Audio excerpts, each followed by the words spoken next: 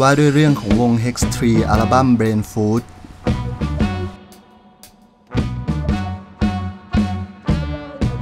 ในส่วนของการบันทึกเสียง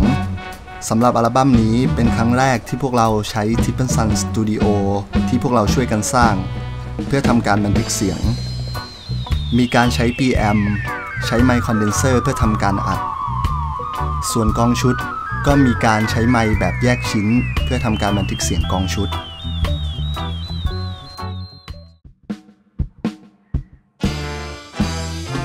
ในส่วนของการ mix เสียง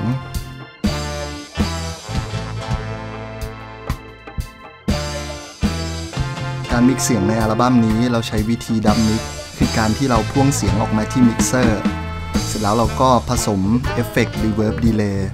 ผ่านช่อง send return บนมิกเซอร์จากนั้นเราก็พ่วงเสียงเอฟเฟกต์เหล่านั้นกลับเข้าไปที่คอมเพื่อทำการบันทึกเสียงกลับเข้าไปใน track โดยใน track ที่ 3 กับ 4 ของอัลบั้มนี้เป็นเพลงที่ค่อนข้างละเอียด แล้วก็มีย่านเสียงค่อนข้างหลากหลายสำหรับ 2 เพลงนี้ก็ต้องขอขอบคุณ สันพวิทย์สร้อยคำหรือ n a s Summer d a t ที่มาช่วยทำการมิกให้เรา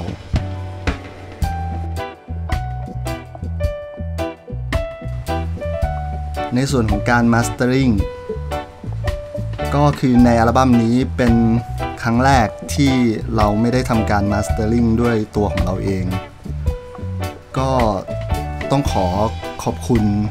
พี่ป๊อกวรรณฤทธิ์พงประยูน Panda Records ที่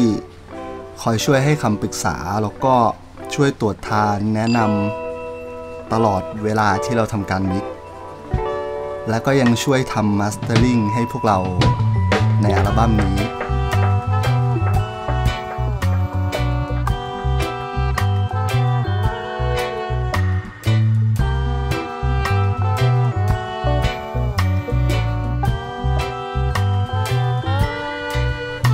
ในส่วนของ artwork อัลบั้มนี้ก็จะเป็นเราและแคร์ที่ช่วยกันออกแบบ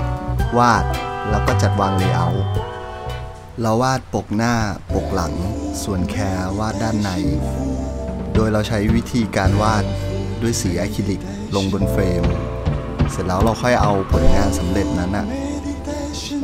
มาถ่ายรูปแล้วก็ใช้ทำเป็นงาน artwork อัลบั้มนี้